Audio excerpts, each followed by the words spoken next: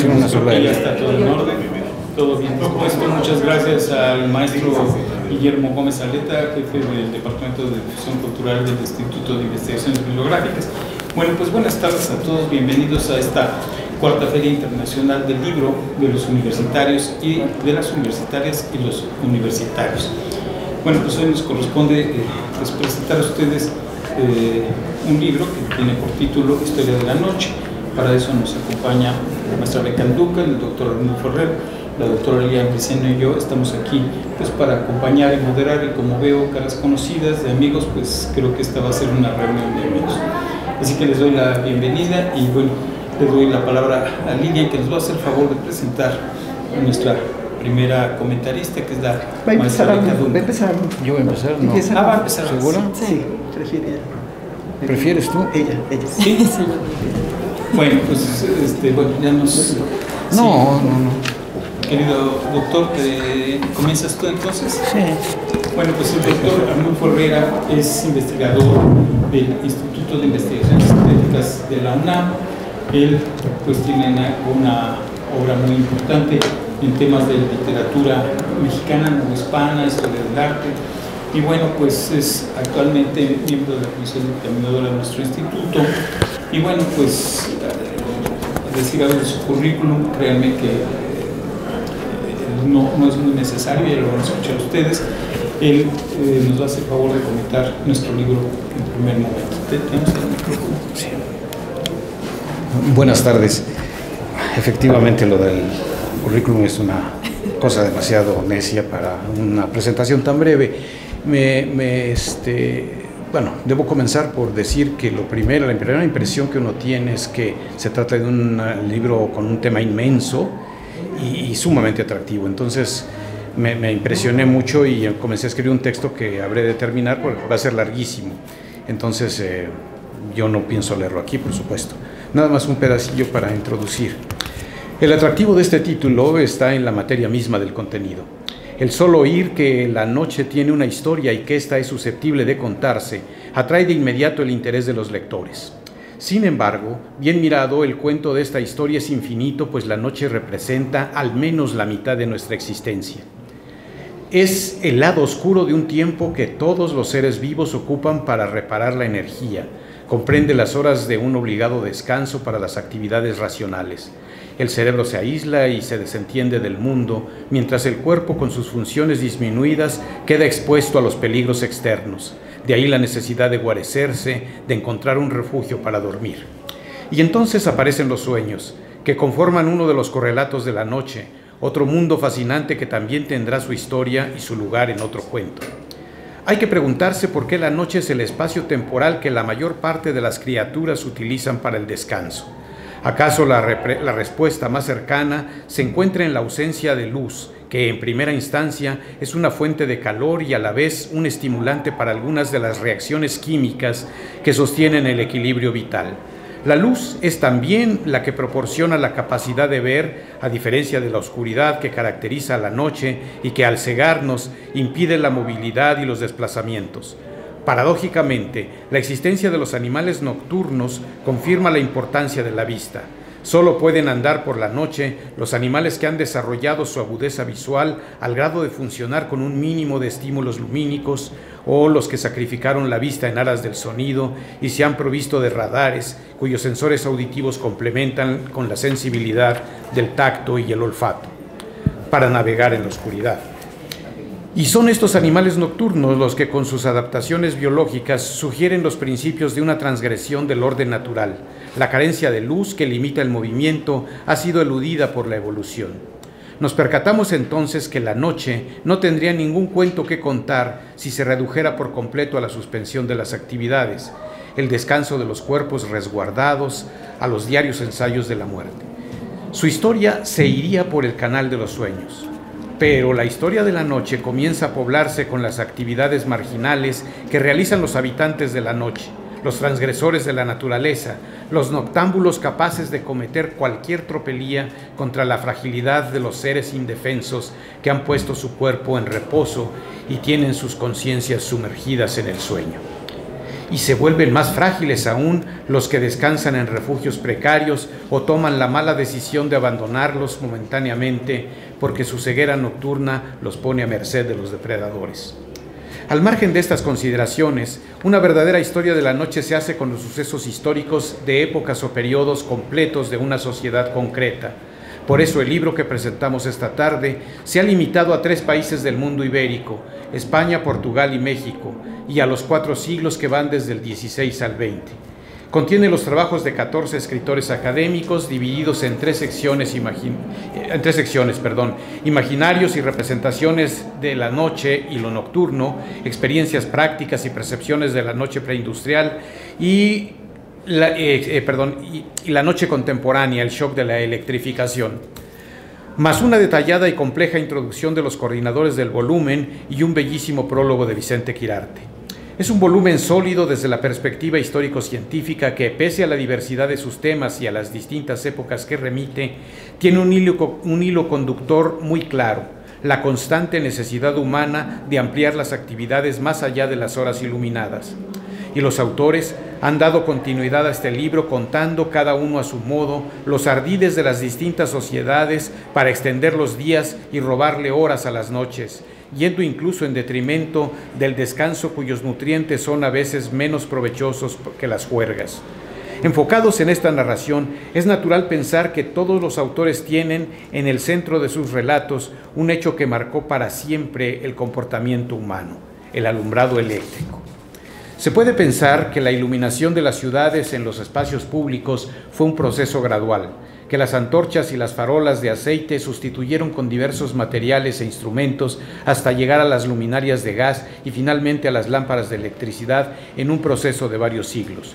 Lo cierto es que ninguno de los artilugios construidos por los ingenieros más hábiles para iluminar las calles consiguió nunca la cantidad de luz que se logró con la electricidad. Los claroscuros y las sombras y con ellos la ambigüedad del panorama siguieron dominando las noches e imposibilitando que las actividades diurnas pudieran compararse con el día. Es así como nos enfrentamos entonces a los diversos enfoques que tienen cada uno de los autores sobre, su, bueno, sobre el tema que propusieron. Para describir la vida nocturna en la Ciudad de México, por ejemplo, María Esther Pérez Salas utiliza las imágenes litográficas y los grabados de las revistas literarias en dos puntos del tiempo. Entre 1837 y 1879, el primero es el año en que aparecen las publicaciones, las primeras publicaciones ilustradas con esta técnica, y el 79 es el año en que aparece la primera planta generadora de electricidad.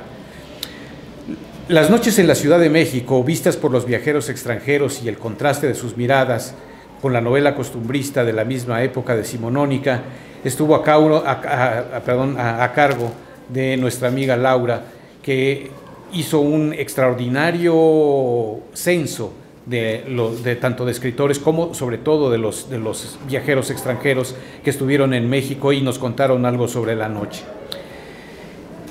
Bueno, no quiero seguir eh, hablando de cada uno porque me parece que es más importante que lo haga la coordinadora. Me gustaría señalar solamente algunas cosas, como por ejemplo en el caso de Ricardo Miranda, del pianista, de, fuimos compañeros en algún momento en el, instituto. Él, se concentra en un género musical sumamente atractivo por, por el título, el nocturno, para referirnos que inicialmente solo se trató de un término cuya realidad estaba más en el nombre que en el contenido con el ejemplo de la Catedral de Luis Hahn, detalla que el movimiento inicial es en realidad una polonesa que trata de describir el famoso paseo de las cadenas y el segundo movimiento, más próximo a lo que sería el nocturno, es un andante religioso que reproduce en los bajos el sonido de las campanas mientras se tocan acordes arpegiados que imitan el arpa. Para cerrar con un tercer movimiento que regresa a la polonesa. En realidad el nocturno se demoró mucho en llegar a México y claro que sería necesario que el influjo de Chopin penetrara en los músicos mexicanos, lo que no fue sencillo. Lo importante para la parte externa es el fenómeno de una música que dio estatus a los grupos sociales privilegiados que pudieron tocar o apreciar estas composiciones de enorme dificultad técnica y refinar la sensibilidad para lograr la introspección, los ensueños y los sentimientos oníricos que la música sugería. Bueno, y así todos los, los, los, autores van proponiendo cada uno en su tema una serie de eh, hechos, de sucesos muy documentados que nos permiten entender lo que fue la noche a partir de la llegada de la luz eléctrica, antes de la luz eléctrica y sobre todo la manera en que cada sociedad, cada época le robó horas a la noche, horas al descanso para tratar de agrandar el día y cómo lo consiguieron, de qué manera lo lograron. Es todo lo que yo puedo decir por el momento. Desde luego voy a hacer una nota bastante más larga, pero mm, me aterra que los demás no puedan hablar. Muchas gracias.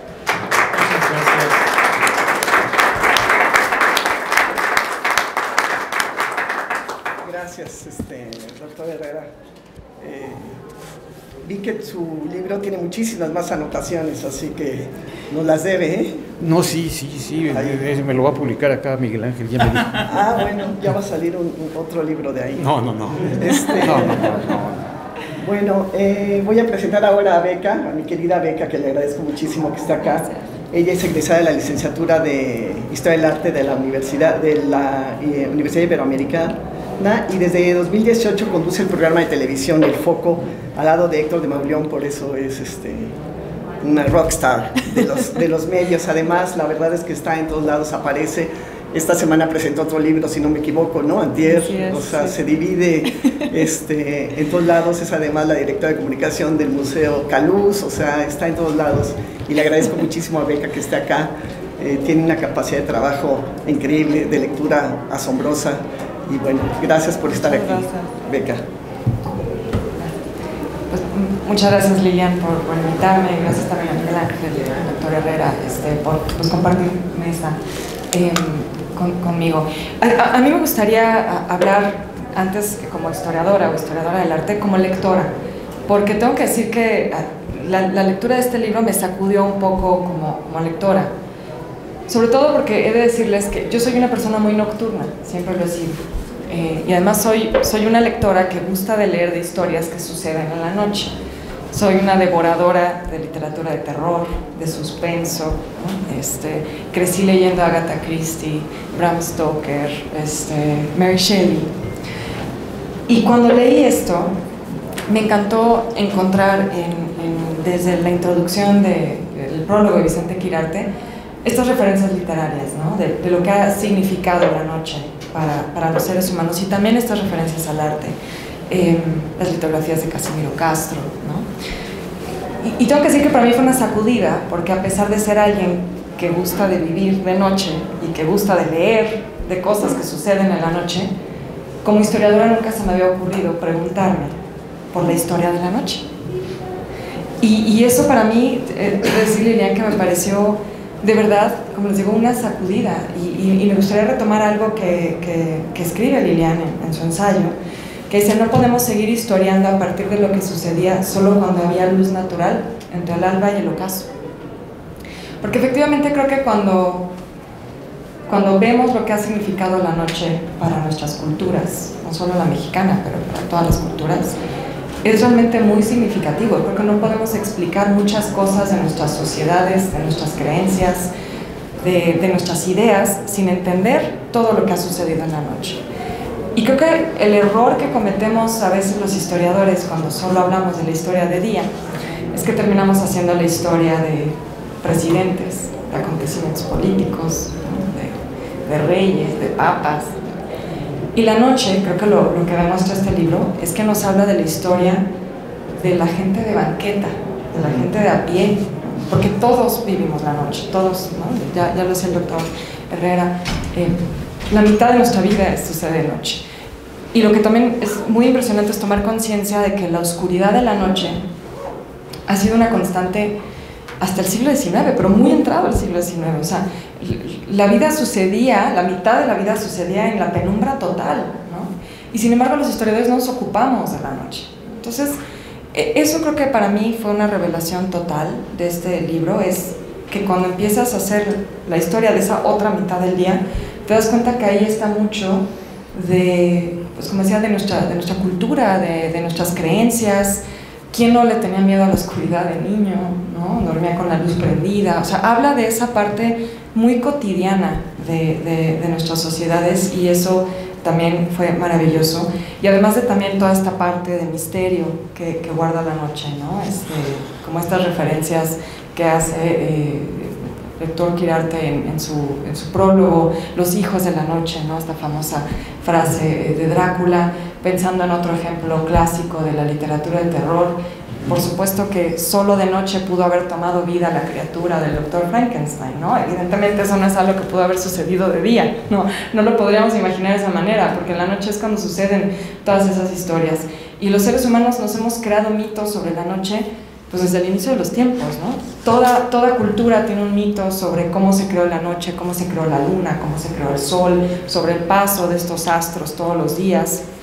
Em, y, y, creo que eso también es muy interesante eh, a la hora de, de, revisar lo que ha representado la noche para las sociedades iberoamericanas en este caso, em, como ese lugar donde hay misterio, pero también donde viven los marginados de las sociedades, este, donde, donde suceden esas, todas esas cosas. Desde luego hay referencias aquí a, a, esa noche criminal, a la noche roja, ¿no? roja también en el sentido de la noche de los, de los barrios rojos, em, y cómo también, como decían, se va, se va, conquistando la noche a medida que logramos iluminarla. Eh, otro, otro tema que para mí eh, resultó fascinante es también a través de todas estas referencias, por ejemplo, a la hemerografía, a la literatura, especialmente darnos cuenta de lo que ha significado la noche como tema, como espacio, como lugar. Em, por un lado, de, sí, de todas estas, todas estas plumas que se han inspirado en la noche para, para crear alguna, alguna historia, pero decía también al inicio, para para la historia de las ideas. ¿no? Hay que pensar que las ideas se han hecho en tertulias nocturnas, sobre mesas de café, este, con, copas. Ahí es donde se han dado las grandes ideas que han transformado la humanidad. Y vuelvo a lo mismo, y sin embargo, no nos hemos ocupado de la noche como tema de la historia. Eh, me puse también, por ejemplo, a hacer un ejercicio de pronto mientras leía, eh, de qué acontecimientos han sucedido en la noche, porque efectivamente solo pensamos en acontecimientos de día. Y pensaba en uno muy, importante, el muro de Berlín el muro de Berlín se construyó de noche y también se tiró de noche. Eh, y sin embargo no, no, no, creemos que la noche puede ser escenario de grandes acontecimientos históricos. Entonces, para mí realmente fue eh, una lectura riquísima en, por todas las perspectivas que aquí se conjugan, que ya el doctor Herrera nos ha, nos ha narrado algunas, pero sobre todo para darnos cuenta que también tenemos que voltear a ver esa parte, ¿no? que, que está presente en nuestras producciones culturales, pensaba también de pronto, pues como historiadora del arte, cuántos, cuántas obras de arte se han hecho sobre la noche, la noche estrellada de Van Gogh, eh, los grabados de Julio Ruelas. Eh, hay, hay, de verdad toda una producción cultural en torno a la noche que, que sin embargo eh, hasta ahora me parece que, que, sí habíamos dejado fuera y celebro mucho que, a través de este esfuerzo de Lilian estemos empezando a voltear a ver la noche como también objeto de estudio y como, como un lugar donde también ha sucedido la historia. Muchas gracias.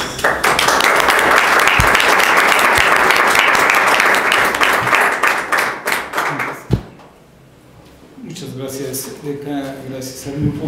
Bueno, pues miren ustedes, a mí me gustaría compartir también un poco la historia del libro, eh, cómo es que el Instituto de Investigaciones Bibliográficas eh, acepta editar esta obra, cómo surge a partir de un eh, congreso, simposio, bueno, en fin, una reunión académica que ahorita nos va a dar detalles la doctora Lilian Briseño, en el que había una preocupación por estudiar la, eh, el alumbrado eléctrico, la electrificación, y pues ahí se fueron formando mesas que eh, pues descubrieron un tema que, en el cual yo creo que sí hay que reconocer a Lilian, si me permite la familiaridad, con el doctor el ángel, por favor.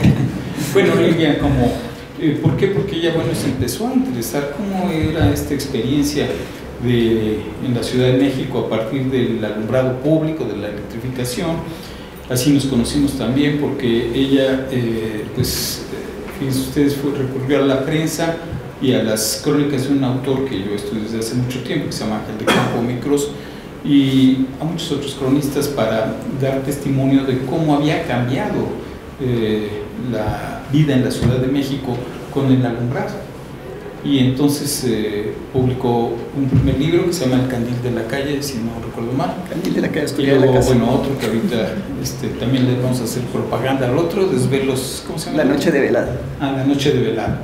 Y bueno, a partir de eso, pues fue surgiendo un interés y conexiones, como es en el mundo académico, con otros grupos que han investigado el tema de la noche.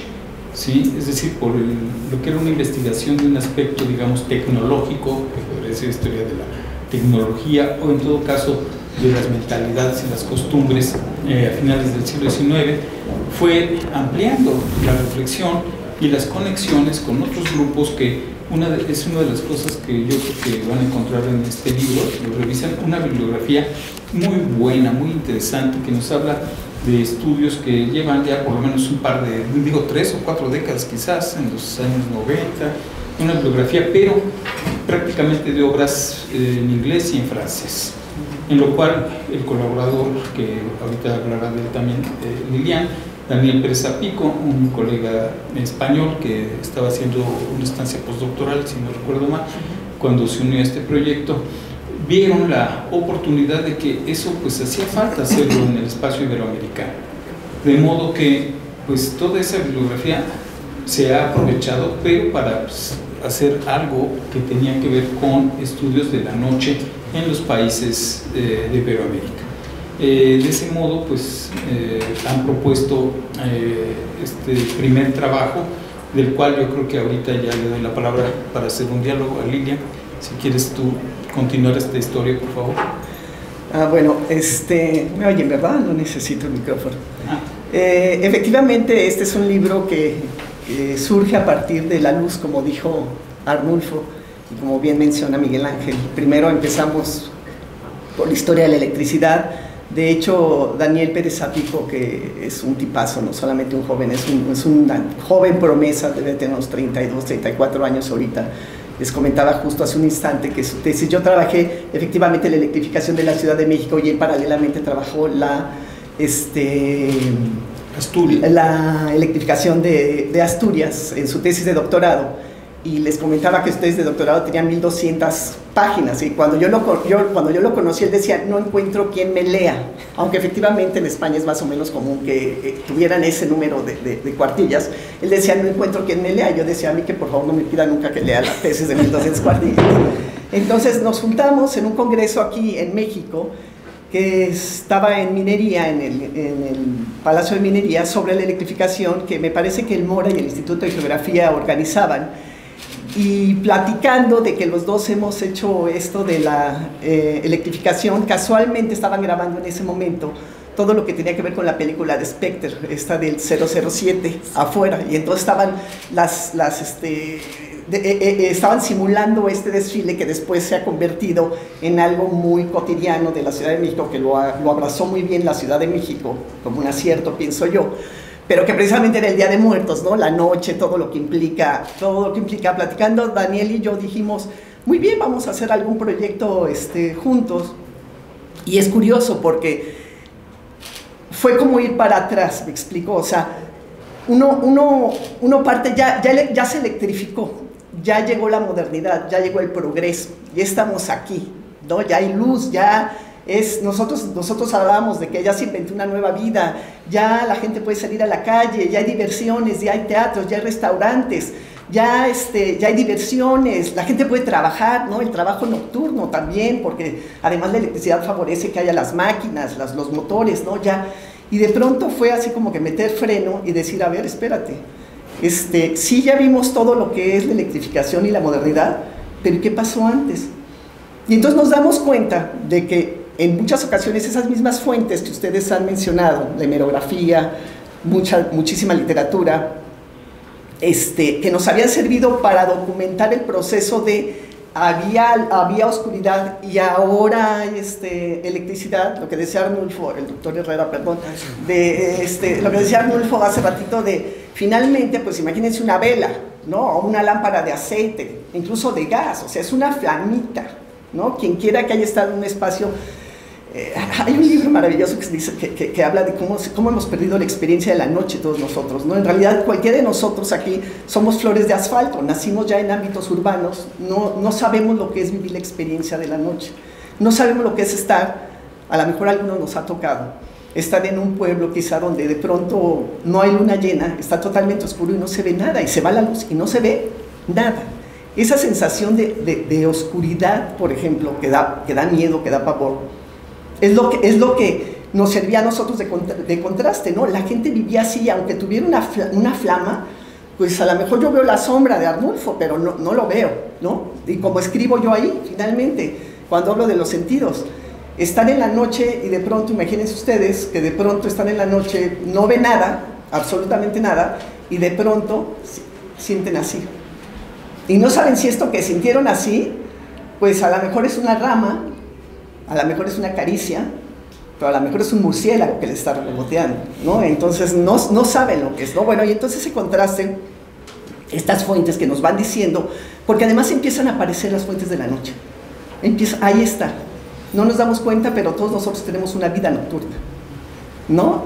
Y empezamos a encontrar que hay algunos estudios, efectivamente, como decía Miguel Ángel, en Francia, en Europa básicamente, en Estados Unidos, en Inglaterra, este, sobre lo que era la historia de la noche. En México no hay, o sea, yo creo que está mi libro, el otro que mencionaba en eh, Miguel Ángel, de la noche de velada, ahora tenemos este que comparte con España y con Portugal, pero entonces este, nos empezamos a meter en esta, en esta historia nocturna y esas fuentes, les decía, nos empiezan a llevar, ¿no? Esas mismas fuentes nos empiezan a descubrir un mundo. Y entonces yo de pronto, por ejemplo, para los que conocen aquí muy bien, todos los que sean del ámbito de la historia, está la Hemeroteca Nacional Digital, ¿no? Entonces yo me meto ahí en la Hemeroteca Nacional Digital y pongo la palabra día, lo acoto a 1800, 1900, Ciudad de México, y me aparecen, por ejemplo, medio millón de registros. Esto es literal lo que le estoy diciendo. Pero entonces pongo la palabra noche y me aparecen 250 mil registros. Yo digo, aquí hay algo, ¿no? Obviamente no he visto los 250 mil registros, ¿no? Es imposible hacer eso. Pero había muchísima información de eso. Y pues nos metemos, a la, nos metemos a construir, Daniel y yo empezamos a decir, ¿y qué tal si empezamos a, este, a, invitar a la gente a que trabaje? Eh, no hay ningún experto todavía en el tema, pero pues yo puedo investigar un poquito de este tema, tú de este otro tema, tú de este otro tema, y por eso es tan variada, ¿no? Por eso nos trabajan este arte, otros trabajan viajero, otros trabajan las posadas, como, Miguel Ángel, educación, como Maru Chaul, en fin, este, empiezan a trabajar la mujer en nocturna, como esta Lucrecia, los nocturnos este, que acabas de, decir de, Ricardo Miranda, que es la música. Entonces, este, digo, estoy hablando nada más ahorita del caso de los, eh, de los mexicanos. Este, no, pero también tenemos una colaboradora portuguesa que, que Rosafina, ¿no? que también habla de cómo es la noche en Lisboa, y en fin, eh, Bernardo Riego, compañero de la Universidad de Cantabria, que habla de la imposibilidad de la fotografía nocturna, a pesar de que tenemos la tecnología ya de sacar fotografía, pero pues no se puede hacer la fotografía nocturna porque pues es básico, ¿no?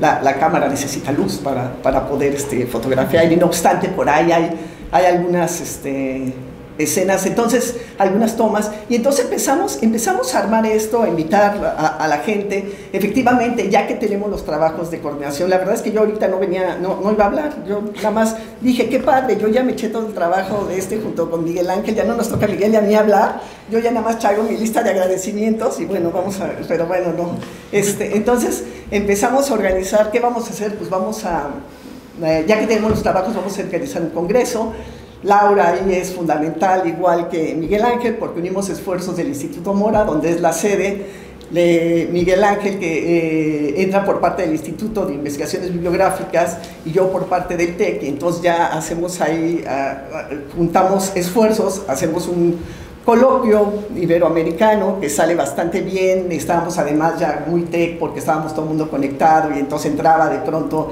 eh, la portuguesa y luego el español y la mitad este, era, era en línea y así todos participando, adecuándolo a, las horas.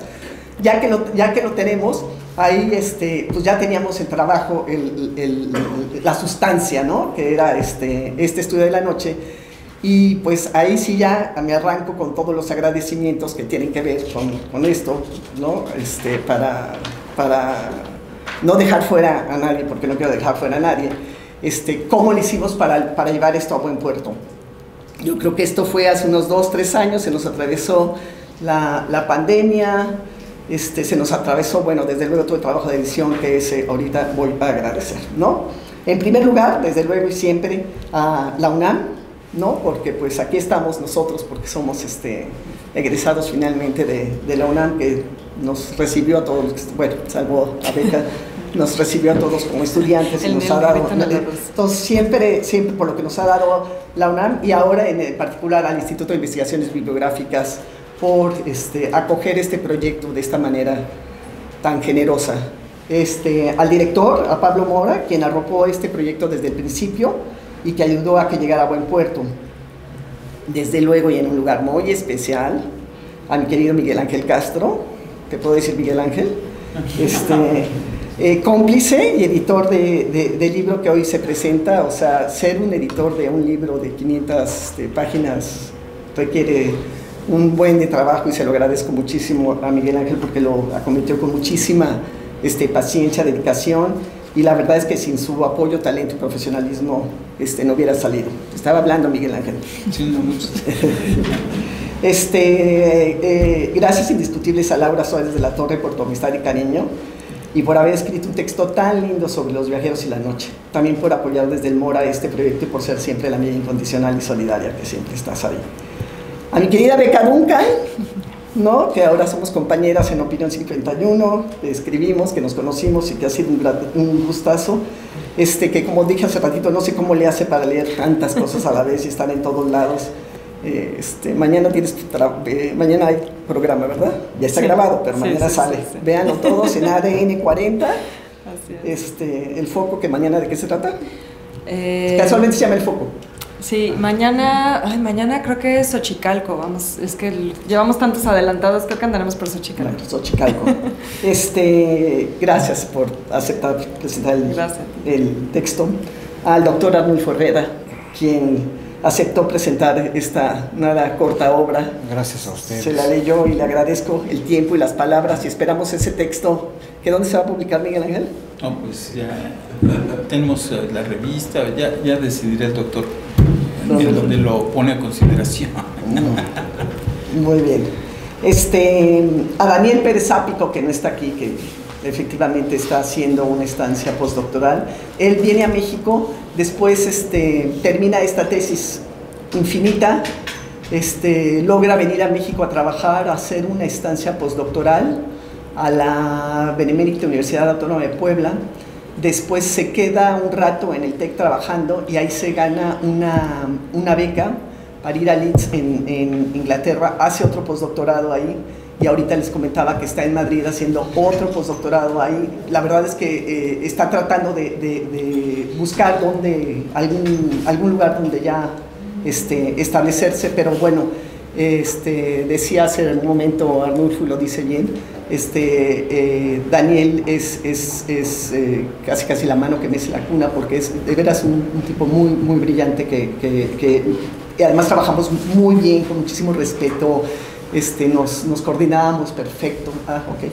Gracias. Nos coordinábamos perfecto este, eh, para hacer el trabajo, salió muchísimo bien. Muchísimo, este, nos, nos fue muy bien. Este, trabajamos, como están diciendo, investigadores de España, Portugal y México. Y este, bueno, pues agradezco, les agradezco a todos.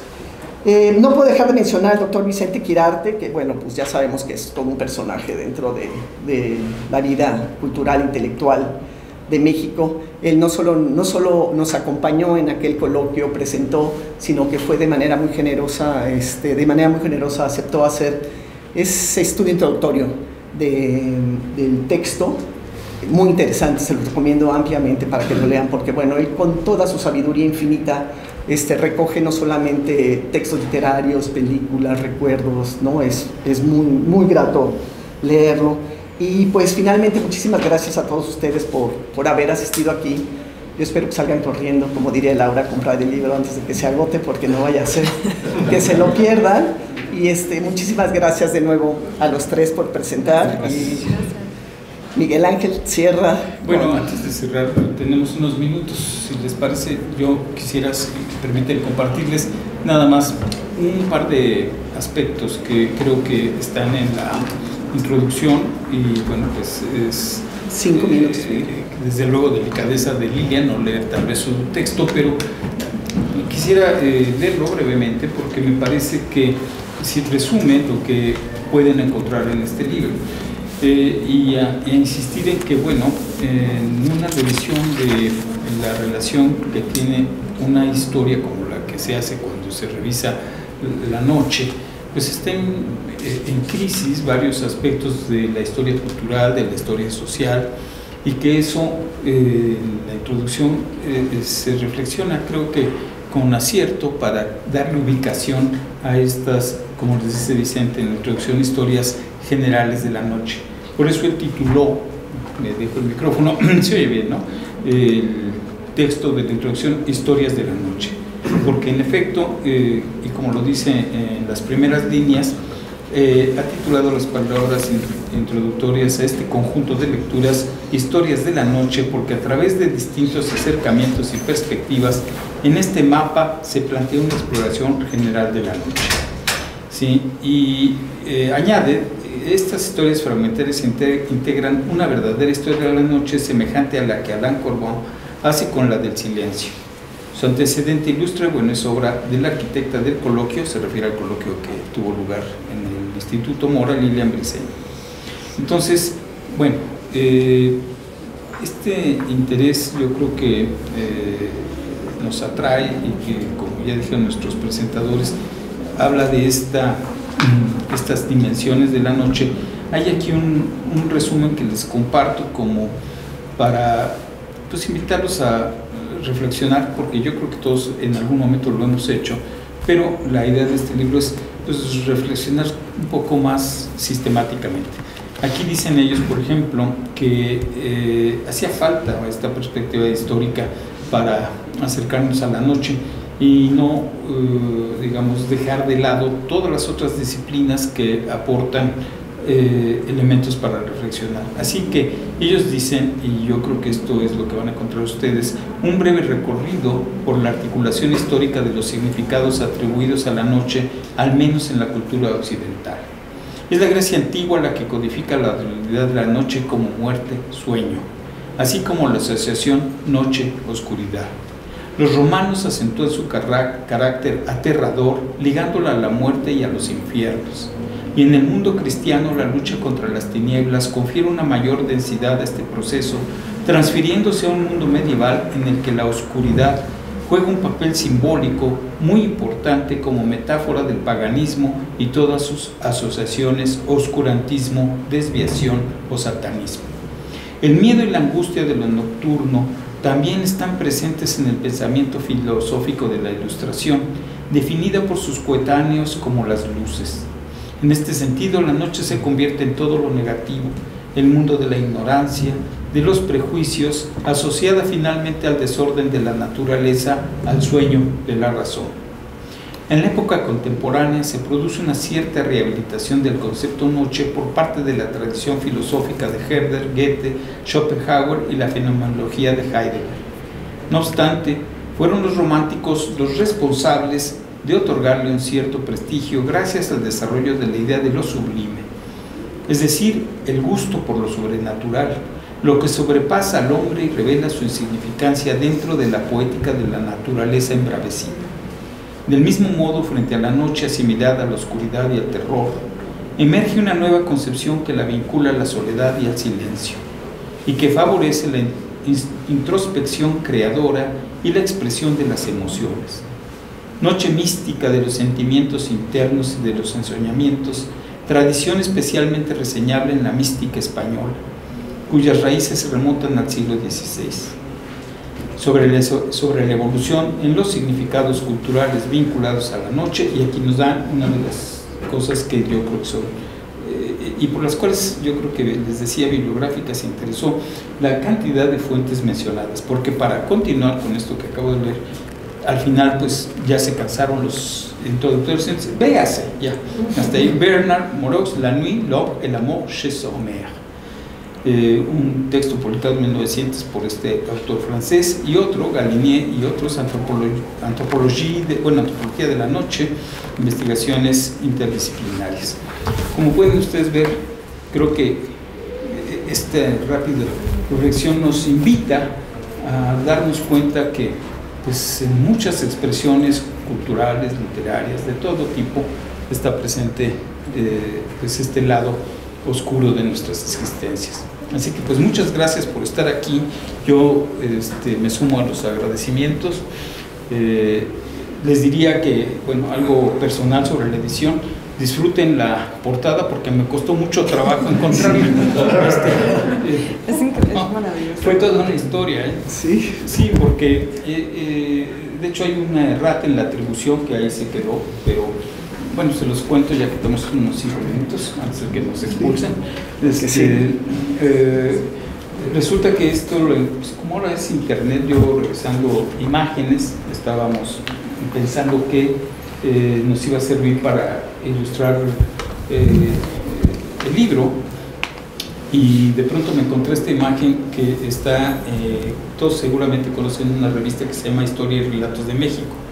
Es una publicación eh, de verdad muy digna, pero que a veces, bueno, como la ve uno en el Superama y ahí afuera, piensa que son historias y relatos pues como sin mucha autorización académica y no es buena revista porque de verdad colaboran ahí pues este, profesores de historia, e investigadores con artículos de difusión y otros pues tiene un cuerpo ahí de eh, investigación el, el, director que hay, ahorita se me olvidó su nombre, pero bueno, este, a ver si ahorita me acuerdo.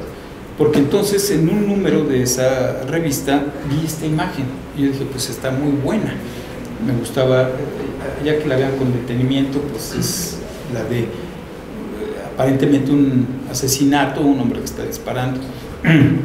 Y bueno, acá se ve la luna llena me gustaba. Entonces empecé a tratarla de localizar y no había referencias en ningún lado.